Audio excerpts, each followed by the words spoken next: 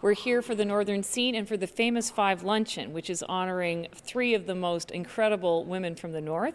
Sheila Watt Cloutier, who, of course, was a great environmentalist and human rights activist, Mary Simon, the former president of the Inuit Tapiriit Kanatami, and Eva Aariak, the premier of Nunavut. And you're going to hear some inspirational stories from all of them today.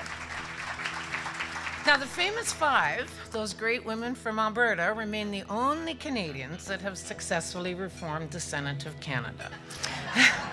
we always say that. They began the long and winding road of constitutional change.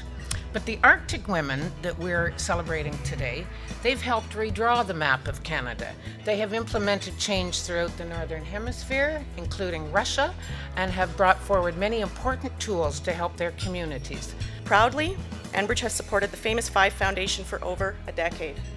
Our partnership reflects the high esteem we have for the hard work and dedication of Isabel and her team in bringing together remarkable women from all walks of life to inspire us with their stories of leadership. So today I spoke and I was named the Norton Rose uh, Mentorship recipient for the event honoring three amazing women.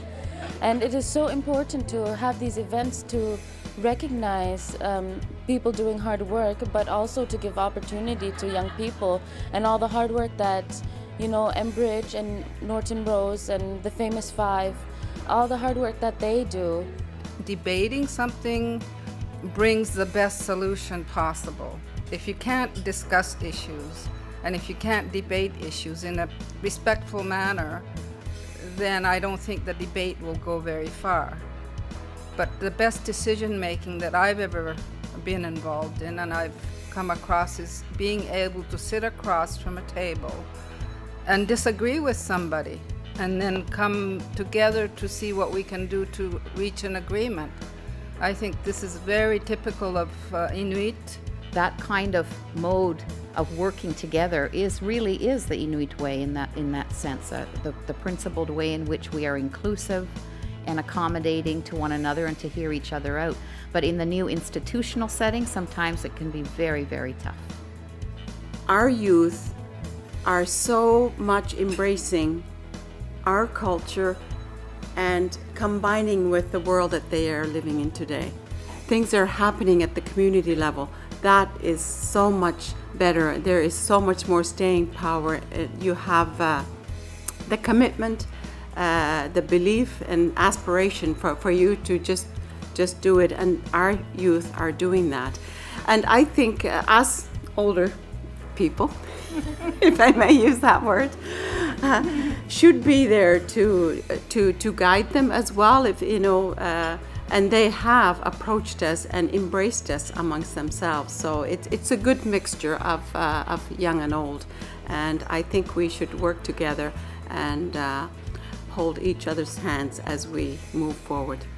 I have so many people in the communities that tell me that it's important to do the work that we're doing and to be able to uh, communicate with the people living day to day in their communities, struggling with a lot of different issues and trying to move forward in their lives. It's a big challenge, but it, it it's also allows people like myself to see that we can't dwell just on the negative that we need to move forward and we need to try and make progress despite the challenges that we face.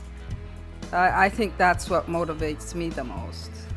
Not talking about these issues is, is at the personal level. You don't let it get to you. You don't let it uh, stop you from friendship and, and, and working at that family, real human level. But you certainly do have to be very strong about these issues. And in fact, as a woman, you have to be even stronger, as Mary, who paved the way for many of us, and Nellie Cournoyea, who's a, a remarkable mentor for me all these years. I'd like to really look at the bright side of our society. With the brightness, with the sunshine, with the strength, we will draw in the, the ones that are struggling as well. And uh, it is our youth that will make it happen.